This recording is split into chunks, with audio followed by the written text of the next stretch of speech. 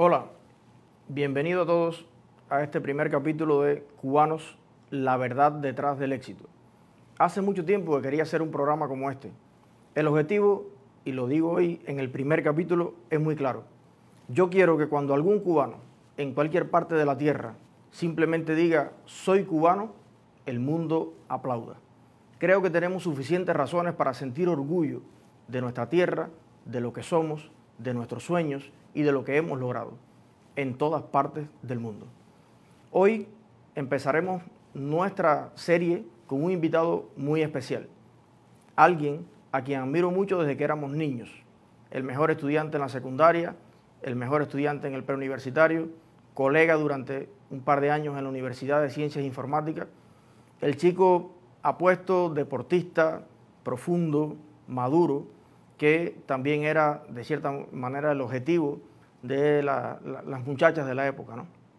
Hoy es todo un triunfador, un cubano que a pesar de su juventud ha logrado administrar y ser dueño de varias compañías y en resumen es un cubano de éxito, como tantos. En realidad, cuando vemos hoy las redes sociales, observamos un patrón, una identificación y un simbolismo de lo que es cubano con lo que yo realmente no estoy de acuerdo. Y por eso creo que debemos cambiar la visión que tenemos hacia nosotros mismos. ¿Y con quién mejor que empezar con una persona como Giordani Almaguer, más conocido en las redes como Mr. Gio. Así que le doy la bienvenida al programa. Ya ustedes lo vieron en otra directa que hicimos con anterioridad, pero hoy vamos a estar profundizando en varios temas que son de vital importancia para todos nosotros y sobre todo para las nuevas generaciones que están hoy pensando cómo diseñar su vida, cómo establecer su presente y pensar en su futuro. Gracias, Mr. Yu, por estar aquí. Gracias a ti por tenerme acá y dar la oportunidad de conversar un poco con, nuestro pueblo. Oye, muchísimas gracias a ti. Em, cuéntame un poco de la última etapa tuya eh, viviendo dentro de Cuba. ¿Cuál fue la última sensación eh, que sentiste antes de tomar la decisión de cambiar de país? Eliezer, como bueno, primero saludos a, todos los que están conectados acá en, el programa y felicitarte por una idea extraordinaria, ya que elevar eh, la calidad de, nuestro pueblo es algo que, que amerita darte las gracias. Eh, como acabas de mencionar, eh, compartimos un par de años en la universidad y, y, nada, como todo ser humano en mi momento histórico donde me encontraba, eh, mis perspectivas y lo que estaba tratando de diseñar dentro de lo que se podía. Estaba allí, en Cuba, dentro de esa universidad. Y recuerdo, como si hubiese sido ayer, la llamada de mi mamá que me dice, eh, necesito comentarte algo, pero cuando regreses. Estamos en plena, eh, terminando la, para el último semestre para comenzar las pruebas finales. Y, y yo de, de, de inocente le digo, mami, ¿qué es lo que no me puedes decir? que nos vamos para Yuma. en Cuba se, por teléfono. Es, por teléfono. Y se queda callada, en un silencio de casi un minuto, que para mí fue eterno. Y me dice, sí, a tu papá le llegó la visa. El famoso bombo de, de nosotros los cubanos. Y la sensación es, mucha confusión, ya que las, las planificaciones que había era para ser grande dentro de lo que se puede o lo que yo podía en ese momento eh, pensar y planificar en Cuba, en esa universidad, graduarme de informático, tener una misión, algo así.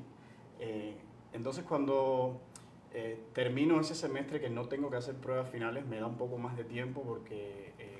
no tuviste que hacer pruebas finales porque ya tenías convalidadas las asignaturas. todas las asignaturas y me da tiempo llegar antes, antes que todos ustedes al pueblo y ahí tuve eh, varias conversaciones con mi papá. Eh, saludo, mami, papi, familia, eh, donde aunque la planificación era graduarme de informático y, como te digo, quizás tener una misión o en algún momento tener la bicicleta, había algo dentro de mí que, que como una brújula que me daba un norte, que me decía que tenía que irme para el norte, no quedarme que había un futuro más allá, que aunque quizás tuviese que empezar de cero todo, volver a comenzar a estudiar, a prepararme a lo que había logrado ahí en la secundaria, en el preuniversitario, en mis amistades, todo, cambiarlo y empezar de cero como todo inmigrante, eh, era lo correcto. Entonces, Ahora, para precisar, eh, tu papá, tu mamá, mm, en general tu familia está allí en Vázquez. No, no, no. ¿Están acá ahora? O sea, los cuatro. Oh. Mi papá me da la decisión, me dice, tú eres el que está en la universidad, tú eres el que estás construyendo un futuro, ya nosotros lo hicimos, tu hermana es pequeña y me gustaría darle un mejor futuro a ella. Tú tomas la decisión. En ese momento me di cuenta de que lo que yo quería era garantizar el futuro de mi familia, el mío y de mis generaciones. Y ya, así tomamos la decisión y, llegamos a este país como, como buenos inmigrantes. Ahora, llegas a este país y esto es algo que quiero eh, que lo escuchen muy bien las personas que recién acaban de llegar o llevan dos meses, tres meses. Eh, yo llevo como tal vez nueve o diez meses, pero todavía estamos realmente, eh, no estamos insertados de verdad en el pensamiento, en la comprensión de cómo suceden aquí los, procesos, sobre todo incluso económicos. Em, ¿Qué tanta importancia le das al hecho de ser asesorado o dejarte asesorar o saber escuchar y ser disciplinado eh, con lo que te dicen en el momento que llega una persona aquí.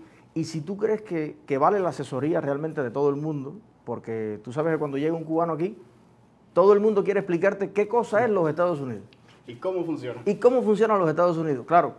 Pero lo mismo te puede asesorar una persona que te guíe por un camino eh, exitoso que te puede asesorar una persona que ni él mismo ha logrado con, los años que lleva aquí eh, establecerse correctamente. Y de eso también va a depender los primeros pasos que, tú des. ¿Qué sería lo que tú le dices hoy, ya conociendo el sistema, a ese cubano que, acaba de poner los pies aquí? Bueno, me gustaría decirle muchísimas cosas.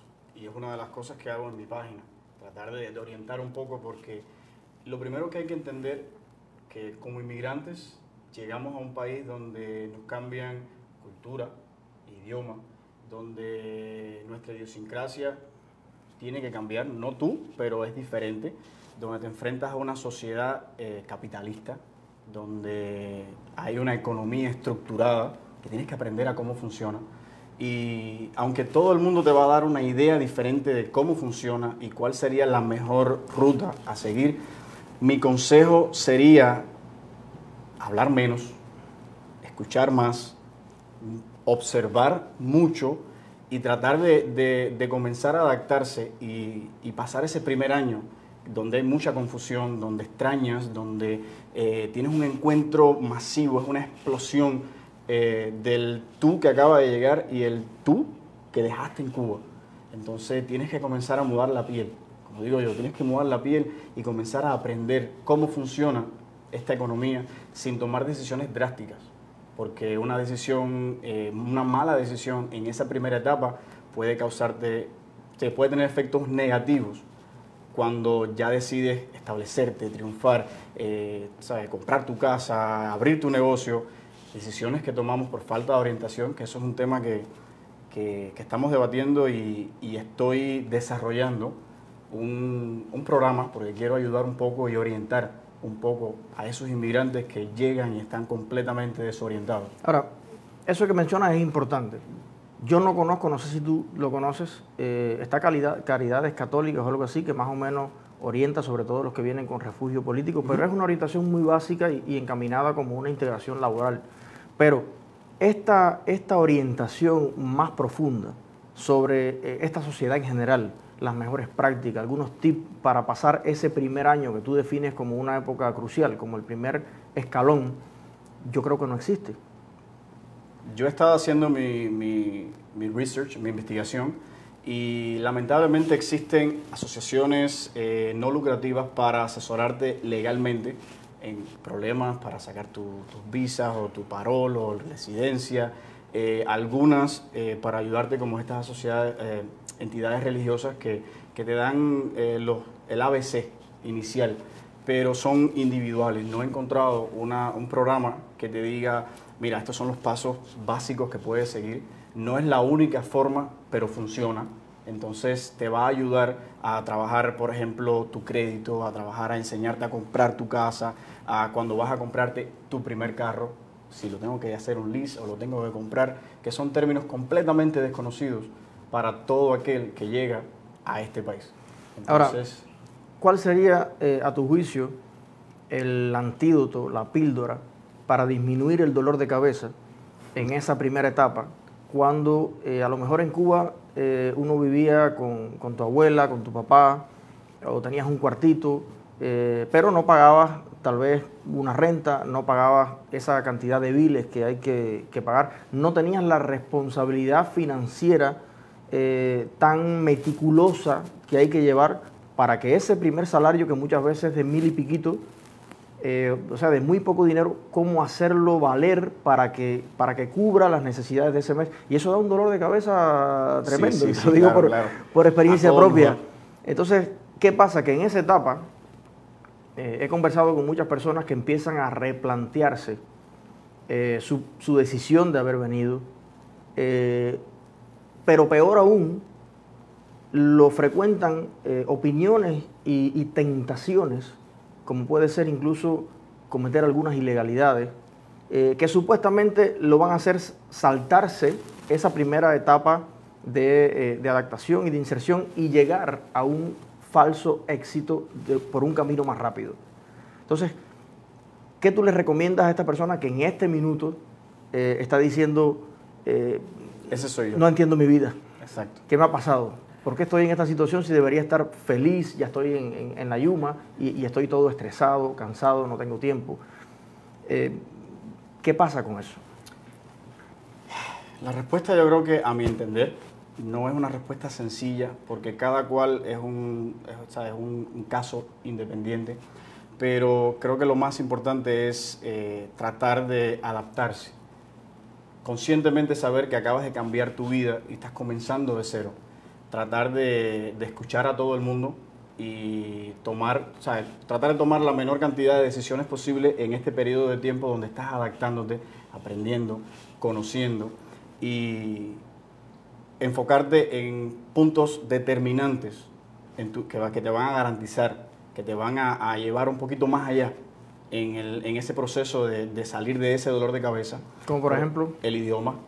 Muchos eh, no se concentran y no toman de verdad la importancia del idioma. Y si me permites, puedo hacerte una anécdota de algo que me sucedió a mí.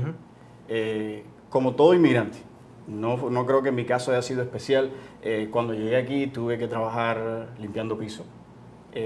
recuerda, estudiante en la universidad de niño de mami y papi, cuando llegué aquí enfrentándose a limpiar ventanas, como las películas, trepado en andamio limpiando las ventanas. Como dicen los, viejos allá, pasaste de ser cabeza de león a, cola. a cola de ratón. Exacto.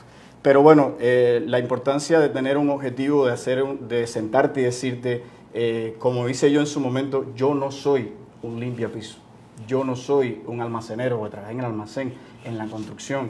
Eh, todos los trabajos que generalmente hacemos la mayoría de los inmigrantes que llegan aquí, no me considero nada especial, pero eh, en un momento determinado aparece una oportunidad.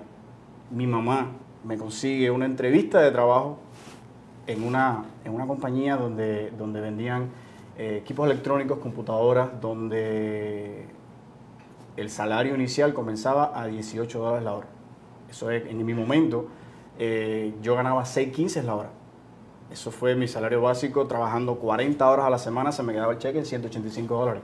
Creo que por ahí la producción tiene eh, Creo que sí, que por ahí una fotocopia eh, de los cheques de 6 seis y pico. 6.15, 6.15 la hora. Y se da, se da esa oportunidad y yo voy, pido el dinero, me compro una muda de ropa decente en ese momento, no sé si era la mejor, y, voy a mi entrevista de trabajo.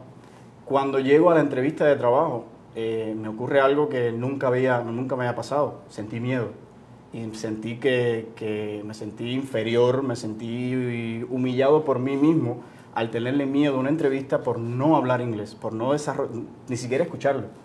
Entonces, eh, nunca entré a la entrevista. Me fui para la casa, lloré como un niño y después de sentirme mal, después de, patalear, después de, de humillarme mentalmente, después de haberlo hecho físicamente al irme de la, de la, de la entrevista, que nunca entré, obviamente, eh, tomé una decisión. Tenía que estudiar inglés. Tenía, no importaba que yo trabajara limpiando los pisos. Lo que importaba es que no volviese a suceder de que una oportunidad se presentara y yo no estuviese preparado. Y como todo inmigrante, en la casa había un solo carro que no, no le bajaban las ventanas. Eh, yo llegaba a las luces y en vez de que decía, no, que pongan la verde, yo rezaba que me pusieran la roja para poder abrir la puerta del carro y respirar aire, porque no tenía aire acondicionado y los vidrios no bajaban, era un transportation, eh, necesitaba respirar. Muchas veces llegaba a la casa entripado en sudor y así con ese carrito yo me fui para la escuela. Trabajaba, eh, llevaba a mi papá a las 5 de la mañana que trabajaba en la construcción, llevaba a mi mamá luego al trabajo y de ahí me iba yo. Mismo proceso, viceversa en la tarde, pero mi papá me tenía que esperar en una piedra debajo de una mata en casa de mi primo eh, a que yo terminara la escuela a las 9 y media de la noche para recogerlo y así estuvimos casi seis meses. Y después de hacer muchos trabajos, disculpa que para terminar la idea, se presenta otra oportunidad donde también necesitaba hablar inglés. Y obviamente, de nuevo, la misma modo de ropa que había comprado y voy para mi oportunidad. Me siento con, con la gerente de la tienda eh, gringa para ponerle como para que la vida me dijo, te preparaste, aquí tienes ahora el ejemplo de que la preparación te va a llevar a, a triunfar cuando le pongas tu mente y tu corazón a algo, vas a llegar a hacerlo. Y pasé la entrevista y me dieron mi trabajo. A partir de ahí comenzó a cambiar mi vida. O sea, uno de los consejos es aprendan el idioma, no importa la edad que tengas, siempre se puede aprender el idioma y te va a ayudar muchísimo en el, desarrollo personal y profesional en este país. Ahora, eh, vamos a ir a algo personal. Y son las preguntas que, que, yo creo que es importante hacer, son las respuestas que yo creo que es importante dar, aunque nadie hace las preguntas normalmente, pero hay un dilema muy grande cuando llegan eh, a este país, por ejemplo, las parejas, uh -huh. o cuando eh, traes familia, eh, tu esposa o tu esposo desde Cuba, a veces algunos niños, o lo tienen aquí muy temprano. Entonces, enfrentas esta primera etapa turbulenta de, adaptación eh, en la que te enfrentas a todas esas eh, emociones, sentimientos encontrados, frustraciones también, porque quieres avanzar más rápido, pero te das cuenta que hay un muro de idioma, de preparación, de acreditaciones y de tiempo. Ganándote lo básico para vivir no te da tiempo muchas veces a salir de ese ciclo y eso te frustra mucho. Pero ¿cómo repercute eso también en la familia, en el matrimonio? O sea, los hijos, sobre todo incluso. Eh, hablemos primero de eso. Tú eres un muchacho con mi edad, tienes tres niños, ¿no? Tres niños. De verdad te felicito porque yo tengo a, Elisa, eh, a quien va dedicado este programa. Eh, quiero que cuando ella crezca tengamos otro, otro, otro ambiente cubano, seamos mucho más orgullosos de lo que somos. Eh, pero hay quien ve a los niños como un obstáculo para el éxito. Yo te preguntaría, ¿obstáculo o inspiración? Inspiración.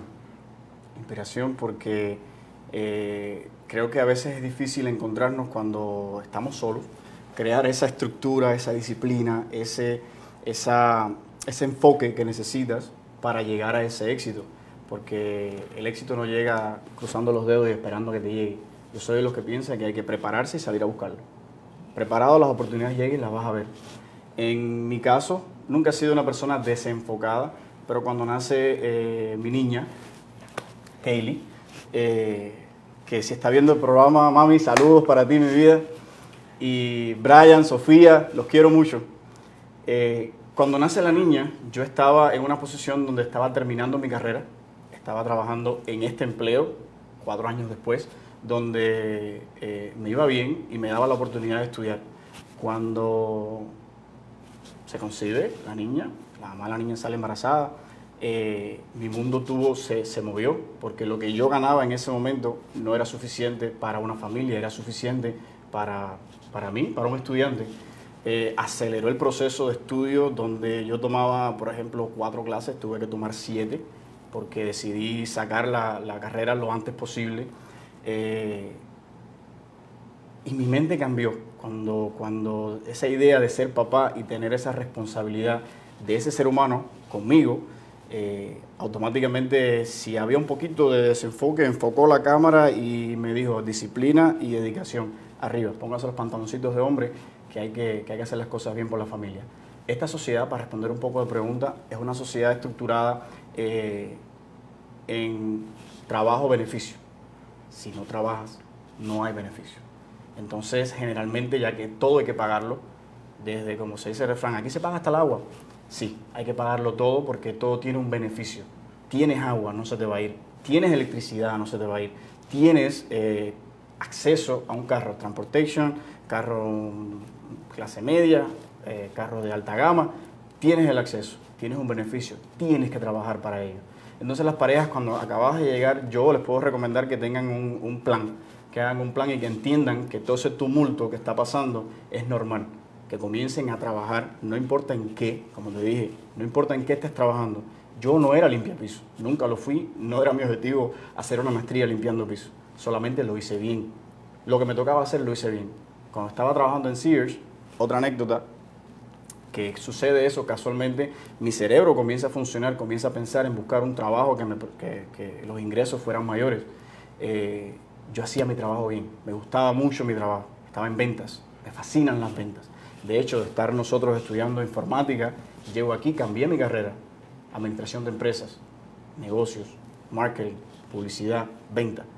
Entonces ahí resolví un problema grande que tenía una persona embarazada, una mujer embarazada, que nadie quería resolverle el problema. Yo llegué, conocí el sistema, conocía lo que se podía y lo que no se podía hacer y hice mi trabajo, lo hice de la mejor manera posible y casualmente, unos le llaman casualidad, otros pueden eh, intervención divina, como quieran ponerle, el marido de esa persona trabajaba en una agencia de autos de lujo, BMW. Cuando él vio mi capacidad de solución y de servicio al cliente y que hablaba el idioma de nuevo, me dijo, ¿te interesa un trabajo? Y le dije, sí, casualmente mi esposa está embarazada y necesito cambiar de trabajo. Y nada, ahí fui a la entrevista de trabajo y ese primer paso cambió las perspectivas. O sea, la paradoja es que esos primeros trabajos que uno tiene que hacer, que a lo mejor eh, tu instinto te dice que, no es lo que vas a hacer siempre, pero es lo que, te, lo que te da el apoyo vital en un momento determinado, no se puede uno tomárselo a la ligera. No. O sea, ningún trabajo merece que lo irrespetes. Yo he hecho también muchas cosas en estos meses y es cierto, uno nunca sabe de dónde va a salir la oportunidad. Y alguien, un amigo me decía, donde quiera que estés, trata de salir y dejar todas las puertas abiertas. Siempre. Nunca te cierres puertas. Y desde lo más pequeño hasta lo más grande, eh, es además un, mensaje de agradecimiento que le quiero dar a cada persona que nos ha dado una, oportunidad. Eh, siempre aprendes algo en esos trabajos. Y dejas también a alguien con la sensación de que, diste el máximo. Y no sabes si a veces la vida da muchos, muchas vueltas y te lo, encuentras más adelante. ¿no? Mi vida aquí ha sido un ejemplo de ello. Desde esa oportunidad en Sears, donde trabajé en la tienda, hasta esta persona que vio la capacidad en mí, vio la oportunidad de un buen empleado, de un buen trabajador, de darme esa oportunidad por, porque resolví el problema, pero eh, desde ahí, cada vez que he estado en un trabajo y me he querido superar, he querido mejorar, las oportunidades han aparecido porque he sido el mejor que puedo ser, no el mejor del lugar, el mejor yo que puedo ser en mi trabajo. De ahí salieron otras oportunidades y me he ido moviendo donde las personas me decían, estás loco, tienes un excelente trabajo y yo quería algo más. Las oportunidades siempre llegaban por ser el mejor que podía ser yo en ese trabajo. Ahora, un tema que yo creo que es de los más difíciles para aprender a lidiar con él, el tiempo. ¿Qué importancia tú le das a la palabra tiempo y a la gestión del tiempo en el camino al éxito? Aprender a manejar tu tiempo te va a llevar de forma más rápida, en menos tiempo, al éxito. Pero todo el mundo lo dice, pero ¿cómo se hace? ¿Cómo se hace? Primero tienes que lograr, como, hay, hay varios pasos que, que nosotros como seres humanos tenemos que comenzar a transformar en, nuestro ser. Primero tienes que entenderte qué es lo que tú quieres. Encuentra qué es lo que tú quieres hacer.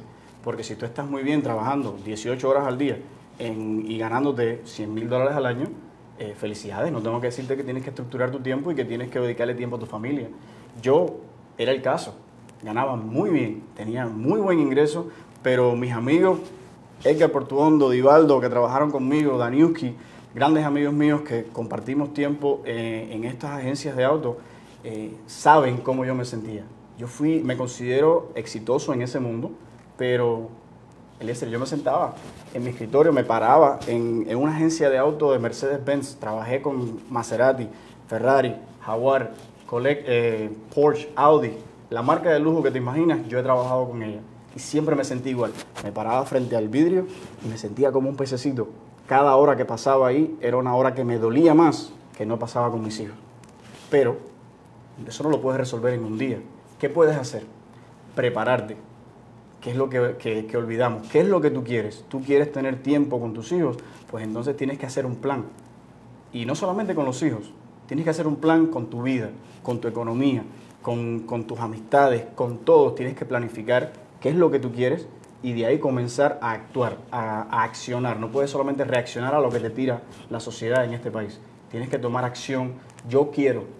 Y los que trabajaron conmigo, que de hecho, acabo de, salir de allí de Mercedes-Benz, le mando saludo a todos los que estén conectados, saben que, que Gio no estaba un segundo del tiempo perdiendo el tiempo. Yo sabía la hora que me levantaba, yo sabía la hora que iba a salir. Cuando estaba dentro del trabajo, eh, las distracciones eran prácticamente cero. Yo, yo iba a trabajar. ¿Por qué? Porque quería lograr crear una base económica muy importante. Graben esto: planificación, base económica para poder lograr tener el tiempo que necesito para mis hijos. Hoy yo paso tiempo con mis hijos de calidad, cantidad, calidad, como lo quieras llevar. Pero si no te planificas hoy, mañana tampoco vas a tener tiempo, pasado tampoco vas a tener tiempo, porque quizás tengas que tener tres trabajos para mantener ese, un estilo de vida o mantener lo que estás haciendo. Hay una, un bichito, le llamo yo, que le pasa a, muchas personas que he conocido que eh, cuando empiezan su carrera de emprendimiento y empiezan a ganar dinero, vamos a suponer, eh, ganabas 3 mil dólares, de momento empiezas a ganar 5 mil o 6 mil dólares al mes. Y sucede que ya eh, el contexto tuyo cambia un poco y empiezas a conocer a personas que ganan 10 mil.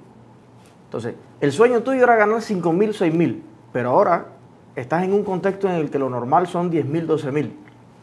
Y empieza como una carrera de, superación, en cierta medida, pero es como una persecución eh, hasta medio enfermiza de ingresar, ingresar, ingresar. Lo paradójico es que algunas de estas personas que más ingresan... Menos tiempo tienen. Menos tiempo tienen, pero también menos tienen en general. Es como que a veces me parece que ha llegado más lejos personas que han ingresado menos y otros que ingresan más, lo gastan todo y aparte nunca tienen tiempo. Entonces, ¿cómo, cómo tratar de buscar el equilibrio en, que y ahí introducimos otro concepto, que es ya la felicidad?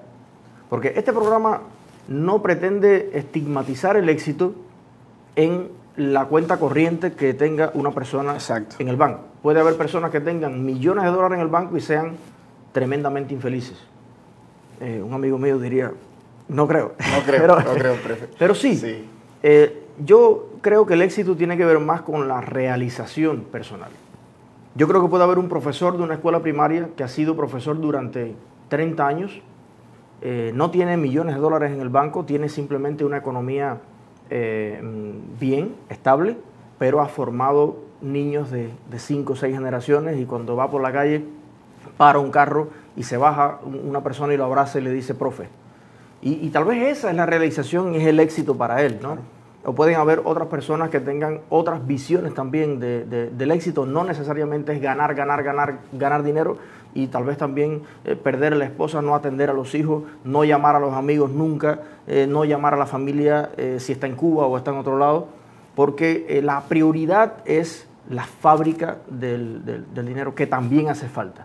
Entonces, para ti, ¿cuál sería el punto de equilibrio o sea, en que ya tú prefieres no ganarte 3 mm, o 4 mil eh, dólares más y que ese mismo tiempo invertirlo en esa calidad de vida que tú eh, nos hablabas. Eso es un punto bastante interesante, por decirlo de alguna manera. El éxito no se mide por la cantidad de dinero que tengas, eh, ni por cuántas cosas tienes, es por lo que necesitas para ser feliz, que te satisface. Eh, por ejemplo, en mi caso, aunque cuando trabajaba para Mercedes-Benz mis ingresos eran sustanciales, por llamarlo de alguna manera, igual que mis colegas, eh, mi felicidad no estaba en esa cantidad de dinero que estaba ganando. Yo pasé de una agencia a otra triplicando un ingreso que ya era un ingreso bueno. Y con todo eso no era feliz. Mi felicidad estaba en buscar la manera, relación, tiempo, dinero, familia, porque tres niños llevan tiempo, dedicación y me encanta. Creo que mi mayor emprendimiento y mi mayor eh, éxito es el de ser papá. Aprendo todos los días más, necesito más tiempo para ser papá y necesito algo que me, lo permita. Entonces, eh, ese, ese balance es, hay que encontrar un balance relacionado entre dinero, tiempo, familia. A lo mejor hay quienes, para, para resumirlo, no les importa o no necesitan tiempo con la familia y quieren más dinero, que son los que mencionaste de 5 mil, ahora quiero 10, quiero 20, quiero 30. Pero en muchas ocasiones entran en lo que aquí le dicen el rat race, la carrera de ratones. Tú coges el curielito, lo pones dentro de la, de la rueda y va corriendo, corriendo, corriendo y nunca termina. Porque la rueda es infinita. La, rueda es infinita, entonces en esta sociedad en específico nunca vas a terminar de ganar dinero. Porque cuando ganes 30 mil dólares vas a tener acceso a relojes, a carros, a ropas que ya no cuestan 100 dólares, que no cuestan 50 dólares. Entonces creo que es un poco más de, superación personal, de tú entender qué es lo que tú necesitas para hacer, para sentirse, sentirse, sentirte exitoso. Y pleno. Y pleno, realizado. En mi caso, a medida que voy avanzando y voy eh, diversificándome, creciendo, siempre trato de que cada uno de estos emprendimientos, siempre estoy emprendiendo algo. Siempre tengo una idea en la cabeza y siempre, tengo algo nuevo que hacer. Y cuando no es algo que genere dinero, es algo que genere beneficio para la sociedad. Esto que estás haciendo me encanta, ya que están escuchando una voz diferente, una opinión diferente, están, están viendo de que nosotros los cubanos no son, el cubano no es el cubano gritón, el cubano maleducado, eso no es el cubano, esos son dos, tres cubanos como mismo hay eh, colombianos, como mismo lo hay eh, venezolanos. El pero, cubano es más que eso. pero duele mucho, Jordi, y, y, esa es una de las motivaciones por la que empecé este programa. Eh, se ha establecido casi un, simbolismo, un mito alrededor de lo cubano, que yo creo que, no es real. Lo, digo, lo digo no solo desde el cubano apasionado por, Cuba, por mis compatriotas, es la verdad. El, el, sistema que impera hoy en Cuba ha sido un fracaso. Los últimos 50, 60 años han sido un fracaso, pero los cubanos no han fracasado. Al contrario. El cubano, como, como no sé si será correcto decirle como raza o como Em, o como cultura, como tradición, como sistema de valores, no ha fracasado, al contrario, en cualquier esquema en el mundo donde, donde se ha ubicado, de una u otra forma ha tenido éxito. Y, y la próxima pregunta que te quiero hacer va con esto y va con los hijos. Y es sobre valores. Para mí los valores son un tema que trascienden cualquier país, trascienden cualquier sistema político, trascienden fronteras de todo tipo. Los valores son universales. Si tú le fueras a enseñar, por supuesto que lo vas a hacer a tus hijos, tres valores que sean tres llaves, que abran todas las puertas o la inmensa mayoría de las puertas, ¿cuáles serían esos tres valores? El respeto al ser humano, que crezcan respetando a las personas que se encuentran a, su alrededor, eh, el amor, dar amor eh, no disminuye amor, al contrario, eso lo aprendí cuando nació mi primera niña. Cuando nació eh, mi varoncito, dije, ah, ya, ya, ya, ahora, ahora cómo lo voy a querer lo suficiente. Cuando llega Sofía a mi vida, y siempre estoy creciendo y siempre tengo mucho más amor, fíjate que me hizo, para darle a cada uno de ellos, a mi familia, y es lo que quiero inculcarle, y honestidad. Siempre que sean transparentes con ellos mismos siempre. Esos tres valores para que, para que en un futuro puedan, puedan decir, yo soy un cubano honesto, que te respeto y si me lo permites, te quiero. Yo trato también, y, con el programa lo voy a hacer más todavía, de afianzar o de cultivar esa relación que yo creo que debemos tener los cubanos de manera natural. Los cubanos compartimos un, un, origen, por así decirlo, eh, o un, pasado, una circunstancia, estemos en cualquier parte del mundo, que, nos une, nos hermana porque todos em, sufrimos lo mismo, eh, soñamos lo mismo y creo que tenemos, estamos dotados de cierta, eh, cierto espíritu de, rebeldía, de emprendimiento que hace que nos notemos en cualquier sociedad. Eh, para ti, ¿qué es lo cubano? Si fueras a diferenciarlo de, cualquier otra cosa muy respetable, de, cualquier otro, otro origen, de los que tanto aprendemos a diario, pero ¿cómo tú definirías lo cubano? ¿Es eh, el tipo que, grita muchísimo, eh, la persona que arma una bronca cuando hay unos carnavales, la persona que responde mal o no da las gracias cuando te están prestando un servicio, eh, mm, el tipo pesado, el que coge en las redes sociales y, amenaza a otras personas. Eh, ¿Eso para ti forma parte de, lo cubano o tú tienes, o sea, sí, forma parte, pero tú tienes otro concepto de lo que es ser cubano? 100%. Para mí, eso es, lamentablemente, eh, muchas veces exaltamos lo negativo, nos fijamos en lo negativo y lo negativo a veces es lo que vende ese chisme brete, dime que te diré, que se forman las redes sociales, eh, o los, eh, no sé, por decirlo de alguna manera, que crean estafas y demás, que se ven, no, porque es cubano. Eso es la minoría. La mayoría de los cubanos son como tú, son como mis amistades, son como mi familia, son como mi papá. Personas educadas, personas de principios, de valores, con una capacidad inmensa de aprender con una capacidad inmensa de, educar. Y, por ejemplo, te voy a poner algo bien sencillo, estoy seguro que en algún momento te va a suceder, eh, estás conversando, estás en un grupo donde no hay cubanos, o estás conversando con una persona, por ejemplo, en mi negocio me acaba de suceder hace tres días, que me pregunta de qué parte de Venezuela soy. Y le digo, no, no, no, no, soy de Cuba, nacido, criado, educado en Cuba. Ay, pero no pareces cubano. Cada vez que me dicen eso, me, duele en el alma porque lo que puede haber visto ella en mí, lo puede encontrar de mí a todas mis amistades, a mi familia, a las personas con las que me rodeo, a las personas de mi pueblo, en ti. Si te conoce a ti, te va a decir, ah, tú no eres cubano. Si no, no, yo soy de donde, donde mismo es. Pero lo que es, lo que es regla no es noticia no es noticia y es lo que yo quiero hacer. Yo quiero la hacer noticia la noticia. Es la excepción y la convertimos entonces, al menos mentalmente, en regla. Por eso, como te comentaba al principio, estoy eh, ya la idea, el proyecto está donde más, donde tiene que estar, que es el lugar más importante, aquí, en mi cabeza. Ahí es donde, donde nace todo primeramente y ya está, ya está el diseño, ya sé lo que quiero y voy a comenzar a enfocarme a cambiar esa opinión y a educar y a tratar de, darle herramientas a los que acaban de llegar para que comiencen a, crecer, a formarse y que las personas comiencen a ver al cubano, al cubano que es como tú, como yo, como, la mayoría, no esa minoría que, lamentablemente como que daña un poco esa imagen y, no lo es. La imagen de nosotros es una imagen de, un ser humano honesto, de un ser humano emprendedor, donde de nada hace algo y donde llega a esta sociedad. Y amigos míos, eh, la mayoría de las personas que, me rodean, cubanas, los considero exitosos.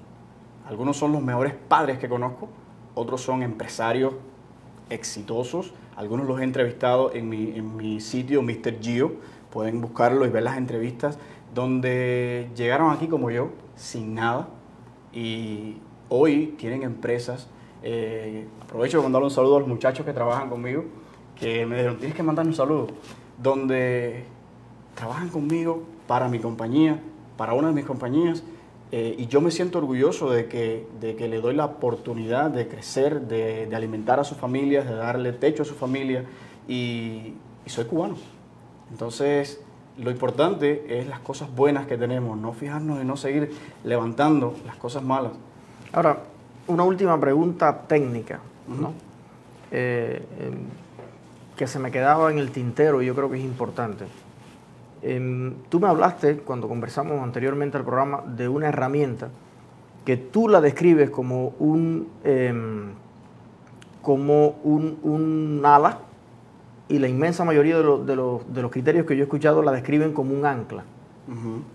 Se llama crédito. Crédito, Y que crédito traducido financieramente significa confianza. confianza. ¿Por qué a ti te parece que el crédito es una herramienta que juega a favor? ¿Puedo hablar? Lo que yo quiera. no, no, es broma. No, pero es que la inmensa mayoría me dice, oye, estoy preso del crédito, soy esclavo del crédito, eh, son las palabras que suelen eh, definir maldito crédito y uno siempre está en ese tema y por nada te afectan el crédito. Y, pero cuando tú me hablaste del crédito me dijiste, wow, esa es la herramienta que cuando la sabes usar eh, puedes llegar bien lejos con eso. ¿Por qué? va un poco en, en- cuando trato de motivar y explicar y a los muchachos que trabajan conmigo, creo que los tengo ya cansados de explicarle el porqué y la importancia. Ahí vamos de nuevo a esa fase inicial de la que ya hablamos, cuando llegas, cuando estás desorientado, no sabes cómo funciona. Nosotros no tenemos, cuando digo nosotros, digo todos los latinos. Tenemos muy poca educación financiera y cuando viene a crédito es prácticamente nula. Cuando llegamos aquí, ¿qué sucede? Comenzamos primeramente a aplicar en todas las tiendas a ver si nos dan una tarjeta. Cuando nos dan una tarjeta, eh, vamos y gastamos el dinero. Y comenzamos a endeudarnos, comenzamos a comprar lo que necesitamos y lo que queremos. Hay una diferencia grande en lo que tú necesitas y en lo que tú quieres. Entonces, las tarjetas de crédito, el crédito en general, es una herramienta para apalancarte. Es una herramienta que esta economía te, te provee para tú poder adqui- adquirir cosas que son mucho más costosas que normalmente con el dinero que tienes no puedes. Te voy a explicar. Es el concepto de beneficio adelantado. Beneficio adelantado. Que cuando tú tienes esta herramienta tan poderosa, primero tienes que comenzar a crearla. Para crearla no puedes abusar de ella. Porque cuando vas a comprarte tu casa, que son una de las compras más importantes que se hacen en este país o en cualquier parte del mundo, pero bueno, estamos hablando del crédito aquí en los Estados Unidos, y ya dañaste tu crédito, la casa cuesta 300 mil dólares, 200 mil dólares, 100 mil dólares. Eh, la inmensa mayoría de la población no los tiene en efectivo para comprarse la casa. Pero si tienes, si has creado una base económica, que es muy importante crear esta base económica desde el día uno, planificas, creas la base económica y comienzas a invertir en ti. Esa base casa. económica, para ir eh, entendiendo cada uno de los conceptos, es, esa, es el puerquito. El porquito. Aprender a ahorrar. Ok. Que no se, no se aprende a ahorrar cuando te entra mucho dinero. Al contrario. Eh, cuando, al contrario, exacto. Cuando te entra mucho dinero, si ya no aprendiste a ahorrar en lo poco, Desde el principio, desde el primer día que llegaste a este país, eh, te va a ser muy difícil. Esta es una sociedad de consumo, tienes que entenderlo. El crédito eh, ayuda a fomentar ese consumo. Las personas usan su crédito para comprar ropa, zapatos, relojes, cosas que en realidad eh, hay necesidad y hay cosas que en realidad porque, porque pueden, simplemente porque puedo, paso la tarjeta y no me duele. Y no conozco, conozco muy pocas personas que cuando llevan tres años en este país te pueden decir, yo no tengo deudas. ¿Por qué? Porque han sido, eh, no han sido educados de la manera correcta, consumen más de lo que necesitan, eh, se meten en una deuda que no pueden pagar y entonces eh, ya no pueden sacarse su carro nuevo, no pueden comprar su casa y cuando llega el momento de invertir en un emprendimiento, en un negocio, no pueden porque no tienen el dinero en efectivo para hacerlo ni el crédito para apalancarse. Entonces, la creación de esa base económica, y creo que si difiere un poquito del tema, eh, ¿sabes? De, de lo que es crédito, es porque esta, esta base económica, después de ya que tú te planificas y dices, yo quiero esto, lo voy a lograr, quiero comprarme mi casa, vamos a decir esto, quiero comprarme mi casa en tres años, o quiero cambiar de trabajo porque en este no estoy ganando suficiente. ¿Qué es más fácil para ti? ¿Ganar más dinero o ahorrar con, lo que, con la estabilidad financiera que tú tienes? O sea, comenzar a gastar menos. ahora creo que ganar más. así pensamos. Tú vas a ir la primera vez a tu jefe y le vas a decir, necesito un aumento. Y tú eres buen empleado, haces las cosas bien, eh, el jefe te quiere dar la oportunidad y te da un aumento del 20%. Pero no es suficiente para comenzar porque ya tú estabas hasta aquí con tus deudas. Eh, y la próxima vez, en tres meses vas a pedirle otro aumento de nuevo o vas a salir a dejar ese trabajo y a buscar otro trabajo. ¿No crees que es más fácil si tú te ganas dos mil dólares al mes comenzar a reducir tus gastos? Buscar la manera de, de minimizarte, recogerte y comenzar a tener gastos de 1.600 dólares donde puedas ahorrar 400. Donde ese jefe cuando te dé tu aumento de salario de 400 dólares, el 20% de tu salario, tengas ya la posibilidad de ahorrar 800 y comienzas a crear esa base económica que cuando tienes la oportunidad de cambiar a un trabajo que quizás no tenga la estabilidad, pero sí la promesa de ganar más dinero, tú tienes una base creada que te permite amortizar los dos, tres, cuatro meses que quizás no estés generando los ingresos que hacías anteriormente. La oportunidad aparece, el trabajo aparece, tú no tienes los ahorros, no te puedes mover. Si me lo permites, te hago otra anécdota. Yo estaba trabajando en D Collection, una de las mejores agencias de autos de Miami y posiblemente del mundo, sino para no ser exagerado como buen cubano, del, bueno, para ser exagerado como buen cubano, del mundo, una de las mejores. Y se me presenta una oportunidad de trabajar, yo tengo, eh, soy agente de bienes raíces también, o sea, de todo un poco, y se me presenta la oportunidad de ir a trabajar con una de las compañías más influentes de bienes raíces en Miami, Cervera, en el downtown, en proyectos de preconstrucción, esos rascacielos hermosos que tú ves, que el apartamento más económico cuesta, no sé, 400, 500 mil dólares, eh, se escogen seis vendedores, seis agentes de bienes raíces. Las comisiones sustanciales, eh, una oportunidad, literalmente una oportunidad millonaria.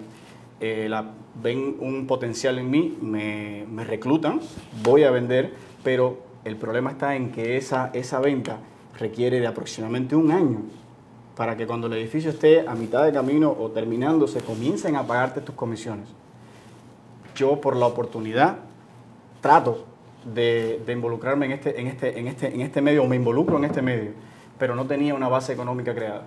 Al no tener esa base económica, no duré tres meses, porque me sentía miserable al yo estar con los clientes llegando y yo pensando en que no tenía para pagar el mortgage de mi casa. Entonces, eh, me falla la planificación está bien, me falla mi base económica y gracias a Mercedes-Benz y Cora Gables que me les presento, me dan la oportunidad, René Aldana, gracias. Y un día en, ese en, esta, en esta agencia de bienes raíces ya no aguantaba la frustración, me paré y fui a la agencia de Mercedes-Benz, pido mi, mi entrevista, eh, con afortunadamente por mi currículum, mi historial, me dicen, ¿estás listo? Sí comienzo a trabajar y comienzo a generar un ingreso sustancial, muy buen ingreso. ¿Qué sucedió? Yo no aumenté mis gastos, dejé mis gastos donde estaban y comencé a crear una base económica que fuese lo suficientemente sólida para que si había otra oportunidad como esta que se volvió a dar, no me pasara eso. Que yo pudiese estar seis meses, ocho meses, un año cubriendo mis gastos sin tener que, que para poder aprovechar oportunidades como estas eliminé todas mis deudas, eh, limpié, mejoré mi crédito, lo llevé al punto donde lo que yo necesitara pudiese apalancarme de esa manera. Llega la oportunidad, necesito un capital eh, de inversión para abrir eh, uno de los negocios que está en estos momentos, que es el, tiene un contrato amplio, grande, por decirlo de una manera, con la ciudad de Miami-Dade, con el condado de Miami-Dade, pero necesitaba un apalancamiento. Yo no tenía esa cantidad de efectivo, pero tenía la cantidad de efectivo para sobrevivir lo suficiente llevando el negocio. ¿Qué sucede? El crédito.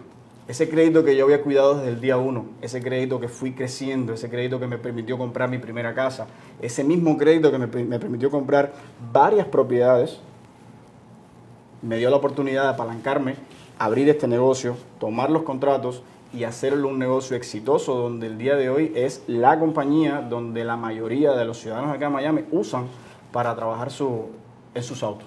Ahora, pudiéramos entender que el crédito, de cierta manera, es un amigo. Lo es. Si sabes cuidar esa amistad. Exacto.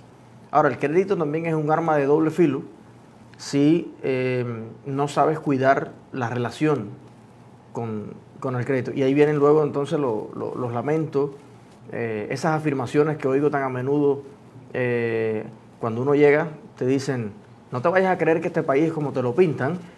Es mejor que como te lo pintan. Sí, pero a primera vista, sí, claro. Eh, las personas quieren achacarle al país el fracaso personal. Exacto. Y eso ya forma parte casi de la cultura de la queja en ese sentido, ¿no? Esto no es como te lo pintaron, esto no es nada color de rosa, y aquí hay que trabajar, y aquí hay que... Pero cuando investigas y le dices, bueno, a ver, pero eh, en tu vida, no, yo tuve un problemita ahí, ¿sabes? Cualquiera cae, cualquiera cae en un error. Eh, me cogieron ahí, yo andaba con unos socios y entonces aparecieron unas tarjeticas. ¿Y tú sabes cómo hace uno? para claro, claro. Para luchar, para salir adelante. invento. Entonces, puedes encontrar claramente cuáles son los elementos en esa historia que tributan a ese final, ¿no? O a ese intermedio. Te Ahora, puedo poner otro ejemplo sí. que lo veo día a día. Tengo, yo tengo una compañía junto con mi esposa de transporte. Tenemos varios camiones que transportan autos por todo el país. ¿Tu esposa es emprendedora también? Mi esposa es tres veces más emprendedora que yo. Es un problema a veces, pero hay que, hay que, hay que, hay que decirlo. Es, es una maravilla, es un ser humano que, que exquisito y que no está tranquila un segundo para, para buscar tiempo, beneficios, relación, dinero y estar con su familia. Así que felicidades mi vida y vamos a seguir logrando muchísimas cosas juntos. Esta compañía que tenemos, eh, tenemos eh, varias personas que trabajan con nosotros, los choferes, que quiero mandarle un saludo a todos los choferes de Miami, decirles que su profesión es, para mí, los admiro muchísimo, pero me voy a atrever desde acá muy humildemente a darles un consejo porque por, ¿sabes? Son personas que ganan mucho dinero, tienen ingresos muy buenos y generalmente no tienen ahorros y padecen, tienen muchos problemas con el dinero. Y esto se debe a este muy mal manejo del dinero y del crédito. Ahí se ve el ejemplo claro. No tienen una educación financiera, nadie lo, quizás nadie los orientó o nunca abrieron bien los ojos para, para ver y escuchar lo que está sucediendo, cómo funciona la economía. Y no importa cuánto ganen, nunca tienen dinero.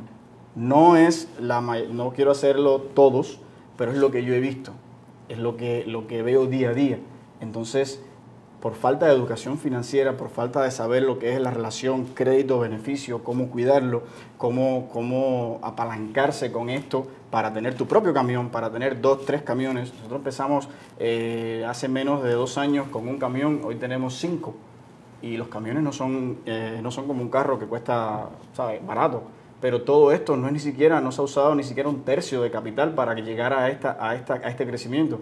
Ha sido todo apalancándonos con el excelente historial crediticio que tiene mi esposa y con el mío. Ahí vuelvo a, a recalcarte la importancia desde el día uno, comenzar a ver las cosas, planificarte y ver la, la importancia de crear esa base económica donde entra el crédito para tu carro, para tu casa, para tu negocio, para tu emprendimiento.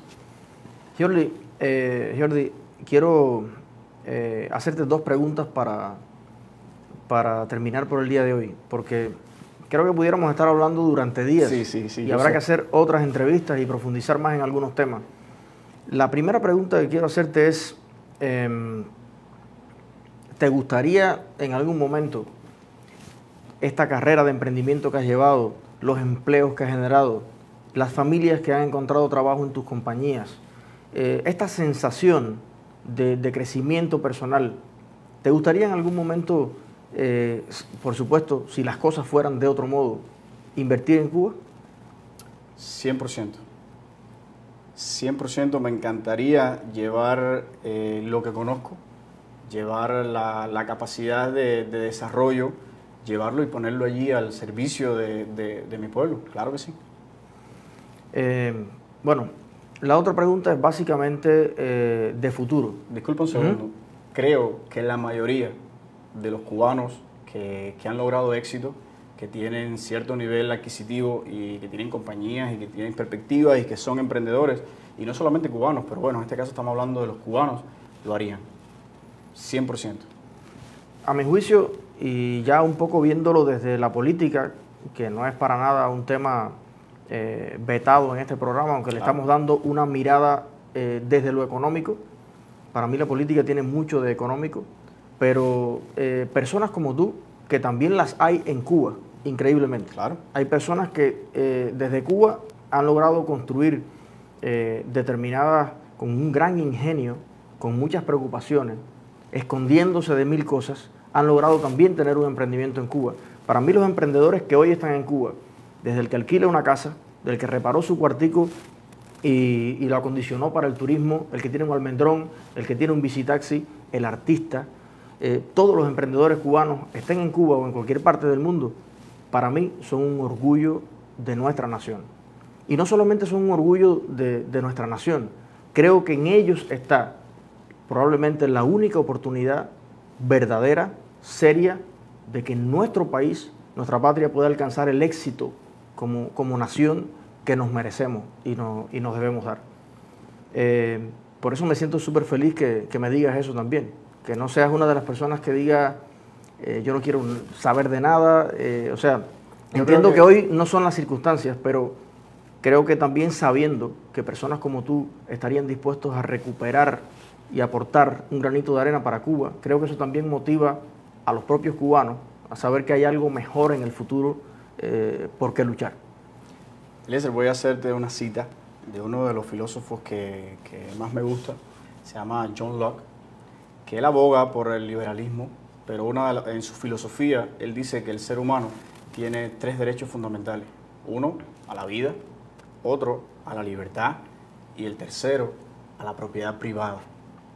Ese tercer, porque yo creo que todos pensamos, concordamos con que derecho a estar vivo todos lo tenemos y a la libertad deberíamos respetarlo, aunque no sucede, pero, pero el derecho a la propiedad privada, esta propiedad privada, la, la, la, darle la oportunidad al ser humano a mejorar, crecer, a crear riqueza, no pobreza, a, crear, a crear riqueza, eh, creo que es la solución a muchos problemas que, se, que a los que nos enfrentamos nosotros en estos momentos.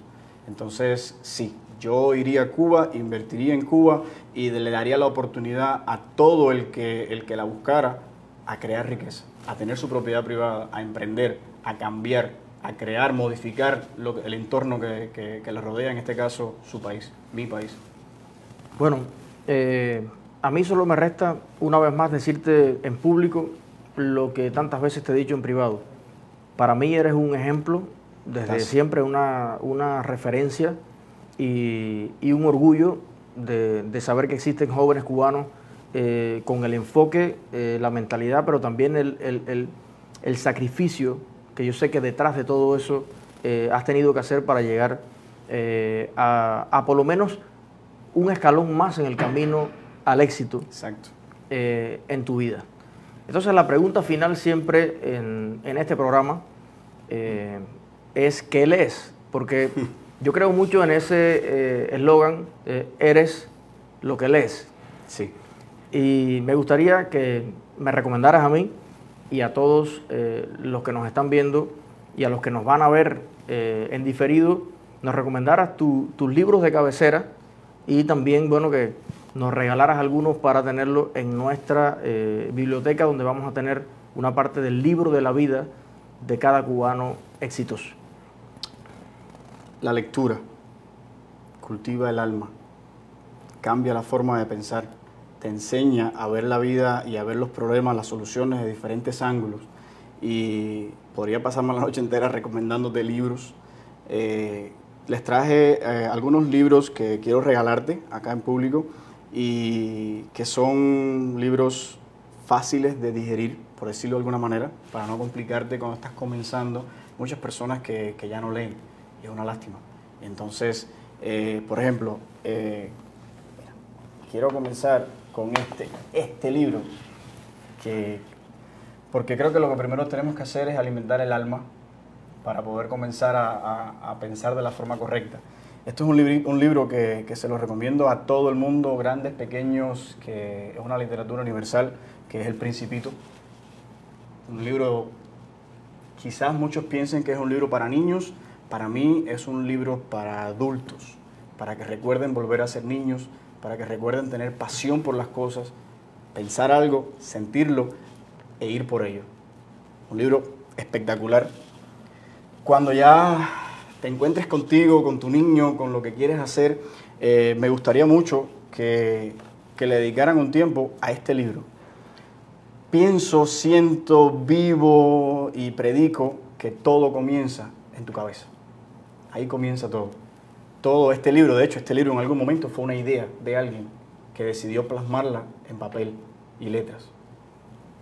Este lugar donde nos encontramos en algún momento fue solamente una idea, hoy es un hecho. Este programa fue una idea que estuvo en tu cabeza por mucho tiempo, hoy lo estamos inaugurando. Entonces, este libro aboga mucho por eh, cambiar tu forma de pensar, eh, la ley de la atracción, de tú decir quiero esto, siento esto y voy por ello. Eh, pídele al universo, a Dios, a la vida y se te dará. Entonces cambia mucho las perspectivas, la forma de, de, tú verte a ti mismo y decir, yo sí puedo. Porque en algún momento pensé que no podía.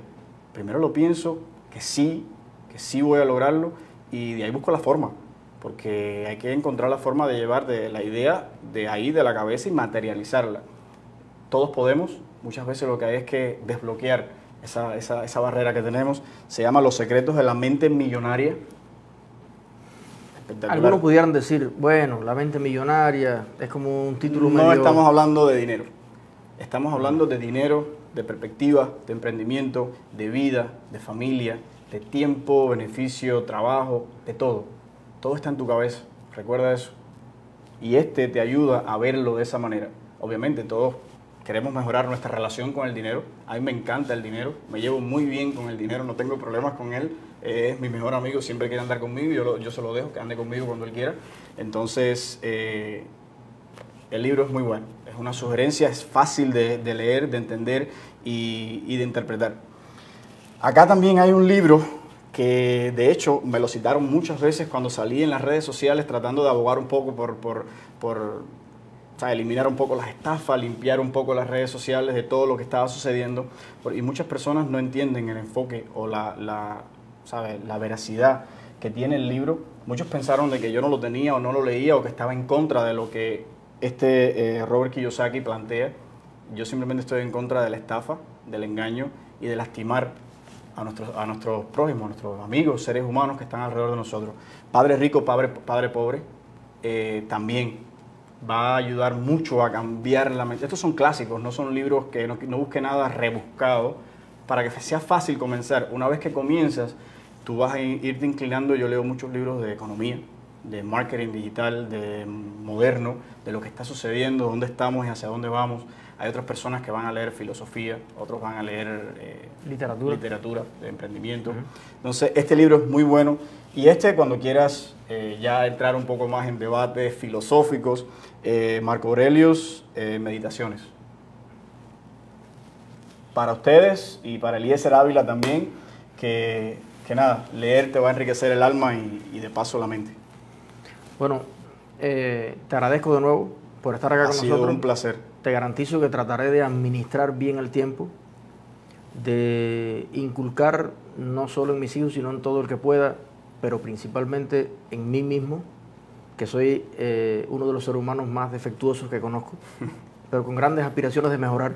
Eso es lo importante. Los tres valores de los que hablaste eh, hoy aquí, para los que se conectan ahora, mm, busquen un poco más al, al principio. Y quiero agradecerte que inauguremos este programa y hayas accedido a estar aquí para eh, tratar de discernir la verdad que se esconde detrás del éxito. Porque el éxito a veces es como una gran fachada, una gran pantalla real, probablemente, esa casa, ese carro, eh, esos bienes, pero ese, eso que se ve no cuenta la historia.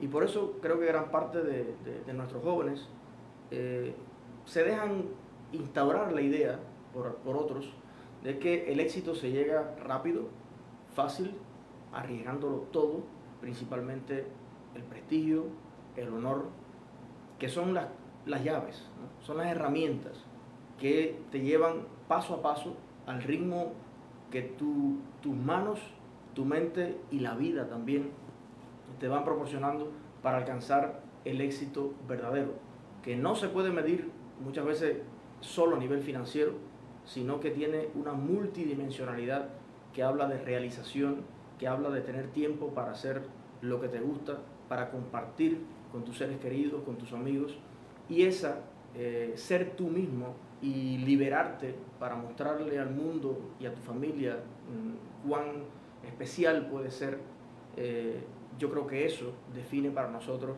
el éxito. Así que gracias por estar aquí. Un placer. Eh, a ustedes los invito dentro de unos días, y ahí les voy a anunciar con unos días de antelación, vamos a tener a, a una invitada, una persona también muy especial, y vamos a estar hablando de un tema que eh, hoy está muy de moda, el trabajo desde la casa. Muy interesante. Sí.